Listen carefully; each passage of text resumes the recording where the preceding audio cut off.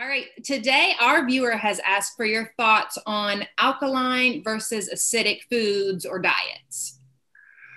Indeed, in medical school, not much was talked about when it came to the acid or alkaline nature of food, but it really does make a difference. Uh, foods of animal origin, meats and dairy products uh, have lots of sulfur and phosphorus in them. And the sulfur turns into sulfuric acid, the phosphorus turns into phosphoric acid. And these acids put a stress on the body's buffer systems.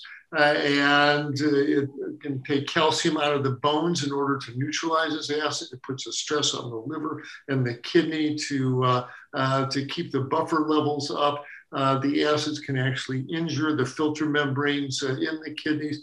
a food stream that leaves a high acid load for the body to deal with is not very gentle on the tissues, where the opposite is true uh, most all the foods in the plant kingdom, except perhaps you know refined grains, white flour products, but most of them leave an alkaline residue and they neutralize acid.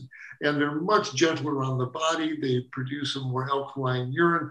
Uh, all the way around, the alkaline forming foods are your friend. And guess what? you can tell them because they grow out of the ground. Uh, by and large. So, uh, so yes, uh, a high acid forming diet meats, dairy, sugars, processed foods in general, uh, put, uh, put a real metabolic stress on the body. Go with a more alkaline diet. Uh, fruits and vegetables uh, are your friend when it comes to neutralizing acid and uh, living a long, healthy life. So uh, let's hear it from alkaline forming foods, and those are the whole plant foods. Hi, everyone. Dr. Michael Klaper here, announcing our new format for our Q&A with Dr. K. Annie Hagen will be asking me one question that's been sent in by our viewers. So if you want to see if your question is getting answered, do join us for our Q&A with Dr. K right here. Hope to see you then.